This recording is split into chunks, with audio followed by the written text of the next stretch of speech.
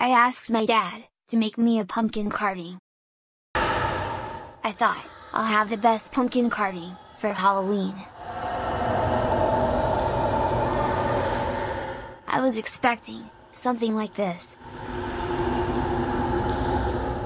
So I invited, all my friends over, for a Halloween party. All my friends were around, when finally my dad told me, he was ready, to reveal the pumpkin.